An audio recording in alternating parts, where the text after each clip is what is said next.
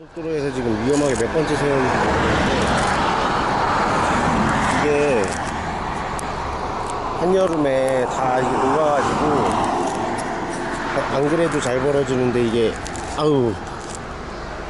고속도로 100km만 달리는 게막 떨어지고 난리가 나네. 아니 뭐 이따위로 만들었어요. 다 떨어졌어 이봐 케이블 타이를 묶어야 되나 이거?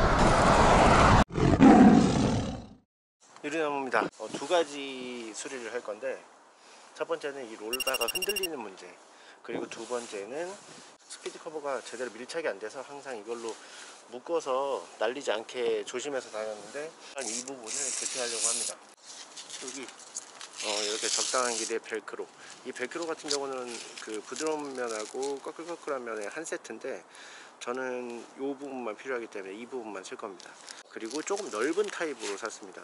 1.5cm 정도 된다고 하면 얘는 2cm 정도 했어요. 왜냐면 이게 너무 낮아 가지고 밀착이 잘 안 되더라고요. 그래서 조금 높게 붙여서 혹시 잘못 붙이더라도 이쪽 부분에 밀착이 될 수 있게끔 길이는 그냥 적당하게. 이 부분은 피스로 고정을 했기 때문에 잘 안 날리거든요. 근데 여기서부터 밀착이 안 되면 날리기 때문에 이 길이는 여기서부터 거의 끝까지 벨크로를 다시 붙이는 작업을 할 거고 이 roll bar가 흔들리는 거.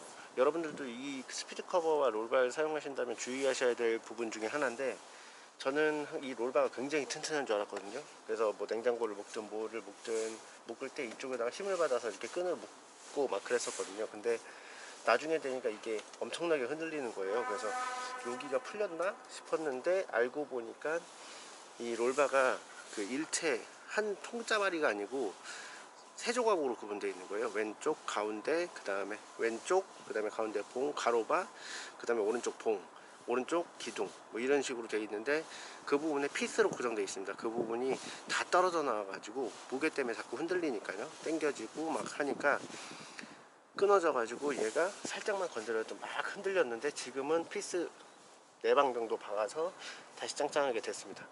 이거를 교체하고 싶어 가지고 좀 저렴한 거 알아보고 그랬었는데 지금은 당장 교체할 필요는 없을 것 같습니다. 그리고 이 스피드 커버 벗겨지는 문제는 제가 영상으로 하도 많이 말씀을 드렸기 때문에 고속도로에서 지금 위험하게 몇 번째 모르겠는데 아마도 저만 그러는 문제는 아닐 거라고 생각해요. 그래서 어, 요거 작업할 건데 보면 자세히 보여드리지 이게 보면 이렇게 피스로 바뀌어져 있고 양면 테이프로 붙여져 있습니다. 보면 이쪽에는 여름에 이렇게 양면 테이프가 다 떨어져 가지고 제대로 붙는다고 해도 이렇게 펄럭거리고 이쪽 사이로 바람이 들어와서 스피드 커버를 스피드 커버를 들어 올리면서 이게 벗겨지고 막 그러는 여러 가지 문제가 있었어요. 그래서 이번에는 이 작업을 어, 벼르고 벼르다가 하게 됐습니다 뭐 10년 동안 멀쩡하게 쓰는 사람도 있다는데 저 같은 경우는 한 1년 반 만에 마음고생을 많이 시켜가지고 커버 수리를 이제서야 진행하게 됐습니다. 어, 최대한 막 스피드 커버를 막 뜯어낸다든지 그런 일은 없이 최대한 있는 상태에서 수리를 할 거니까 여러분들도 영상을 보시고 참고하시기 바라겠습니다. 준비물은 요 드릴하고 요 리벳이 필요해요.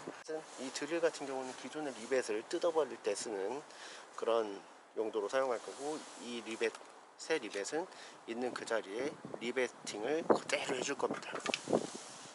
그리고 접착 부위를 붙일 수 있는 붙이 좀 깨끗하게 닦을 수 있는 걸레도 필요하겠죠.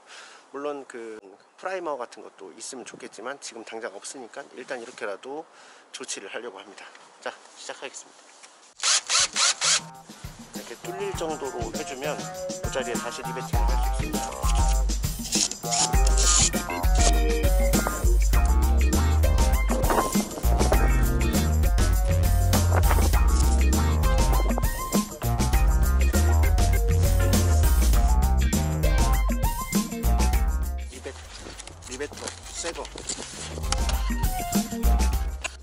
음, 반면 빼시고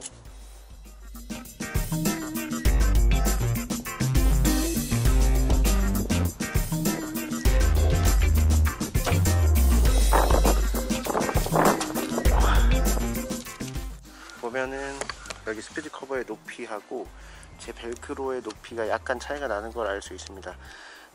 제 벨, 스피드 커버의 저 뚜껑이 완전히 밀착되지 않기 때문에 이 벨크로가 조금 더 길었으면 했거든요. 지금 딱 길이가 맞는 것 같아요. 그래서 완벽하게 당기지 않더라도 절반만 당겨서 붙이는 한이 있어도 잘 붙을 수 있는 그런 환경이 만들어졌고 굳이 커버를 교환하거나 그럴 필요는 없을 것 같습니다. 한동안은 나머지 양면 테이프를 제대로 잘 눌러서 붙여주고 간단한 작업이니까 반대편 영상은 또 바로 작업해보고 오늘은 여기까지입니다. 이 영상 재미있고 유익하셨다면 구독, 좋아요 버튼 눌러주시고 앞으로 더 유용한 그런 영상으로 찾아뵙겠습니다.